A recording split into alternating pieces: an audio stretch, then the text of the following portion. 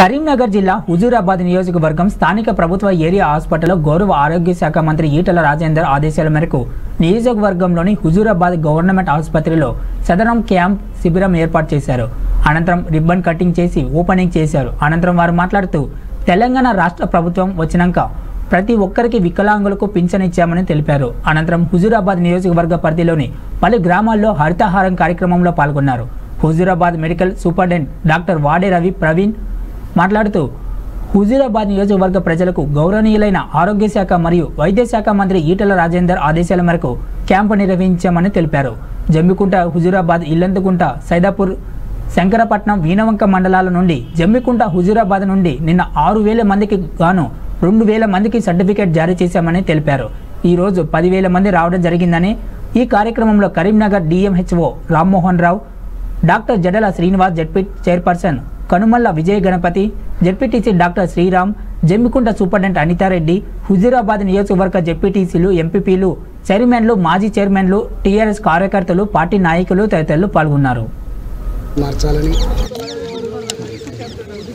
పర్యావరణ పరిరక్షణ కాపాడాలని ఏ కోతులైతే జనావాసాల మీద పడి మానవ జీవితాన్ని ఛిద్రం చేస్తూ ఉన్నాయో కోతులు అడవులకు పోవాలని ప్రతి గ్రామంలో ఎక్కడ ఖాళీ స్థలమున్నా ప్రభుత్వ కార్యాలయాలున్నా చెరువు కట్టలున్నా చెల్లల్లో ఉన్న షోర్ ఫోర్ షో భూములున్న ఎస్ఆర్ఎస్పి కాలువ గట్ల మీద మొక్కలు నాటే కార్యక్రమానికి శ్రీకారం చుట్టి గత నాలుగు సంవత్సరాలుగా తెలంగాణ వ్యాప్తంగా కొన్ని కోట్ల మొక్కలు పెట్టడం జరిగింది.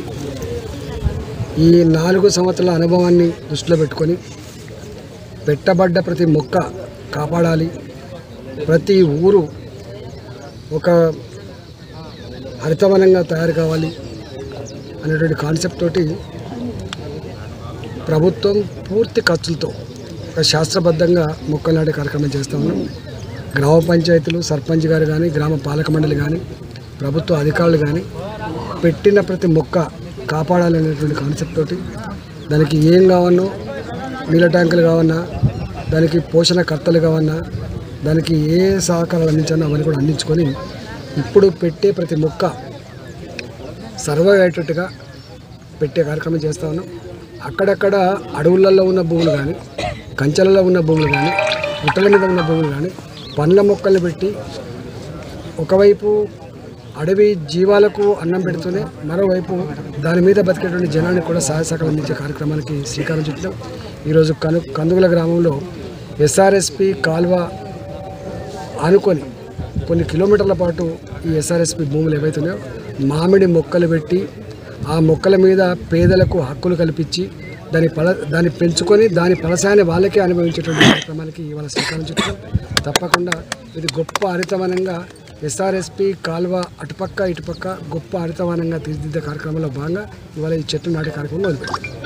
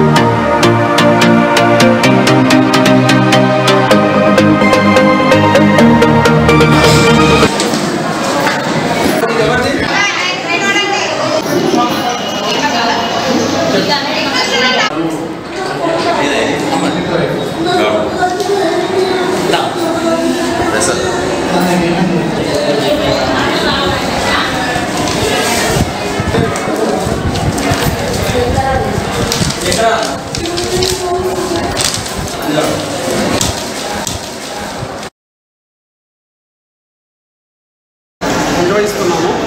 ఈ రోజు నిన్న ఈరోజు సదరం క్యాంపు. సదరం క్యాంపు మన ఈట మా మన మంత్రి ఆరోగ్య శాఖ మంత్రి ఈట రాజేంద్ర గారి ఆశయం ఏంటి అంటే ఈ నియోజకవర్గంలో ఎట్టి పరిస్థితిలో ఎట్టి పరిస్థితిలో ఎవరు అంగవిక అంటే దివ్యాంగులు ఉండొద్దు అనే ఆశయంతో తను ఇమ్మీడియట్గా స- సదరం క్యాంప్ ఇక్కడ ఏర్పాటు చేయడం జరిగింది. నిన్నేమో జమ్మికుంట హుజరాబాదు మండలాలు మరియు పట్టణం. ఈరోజు శంకరపట్నం భీనవంక సైదాపూర్ ఇల్లంతకుంట నాలుగు మండలాలు. నిన్న దగ్గర దగ్గర ఆరు వేల మూడు వందల ఇరవై మంది పరీక్ష కేంద్రానికి వచ్చారు. మళ్ళా పదకొండు వందల ఒక్క మందికి పరీక్ష నిన్న చేయడం జరిగింది. ఇవాళ ఆల్మోస్ట్ పదివేల మంది నాలుగు మండలాల నుంచి పదివేల జనాభా వచ్చారు. దానిలో ఇప్పటివరకు రిజిస్ట్రేషన్ రెండు వేల మందికి అయినాయి. ప్రతి ఒక్కరికి ఏ ఒక్క రూపాయి ఖర్చు కాకుండా ఎక్కడ దళారులు లేకుండా ఎక్కడ పొక్కిసలాట లేకుండా స్వయంగా నేనే నేను మా హెడ్ సిస్టర్ మా డాక్టర్స్ టీం మొత్తం పర్యవేక్షిస్తున్నాం అంత సీసీ కెమెరాల ద్వారా కూడా మేము అబ్జర్వ్ చేస్తున్నాం. ఎక్కడన్నా ఏదైనా ఫ్రాడ్ జరుగుతుందా అని. ఎక్కడ ఎట్టి పరిస్థితుల ఒక్క రూపాయి లేకుండా వాళ్ళకి ఒక్క రూపాయి ఖర్చు లేకుండా వాళ్ళ చేతికి అందించే బాధ్యత మాది. దగ్గర దగ్గర యాభై నాలుగు మంది బోధకాలు వాళ్ళు సంప్రదించారు.